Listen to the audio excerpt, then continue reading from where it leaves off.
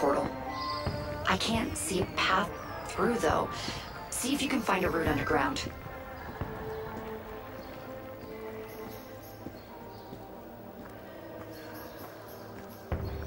You know, the Belle Epoque looks a lot cleaner than Revolutionary Paris, don't you think?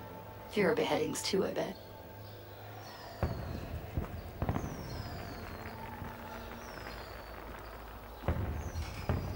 No, these streets don't seem to lead anywhere. There has to be an underground path somewhere.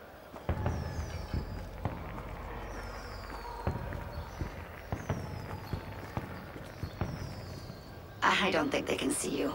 They're like the ghost of Christmas past, if Dickens had written shoddy code.